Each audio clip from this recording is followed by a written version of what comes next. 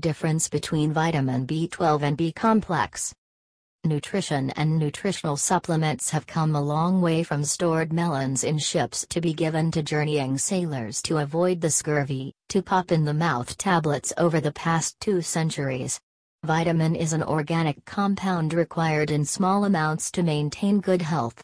They are usually taken through diet as the organisms cannot produce these compounds within them.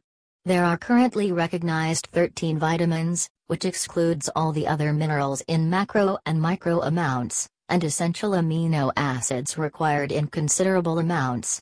These vitamins can be water-soluble or water-insoluble. One such water-soluble vitamin is vitamin B complex, which includes B12 in its ranks.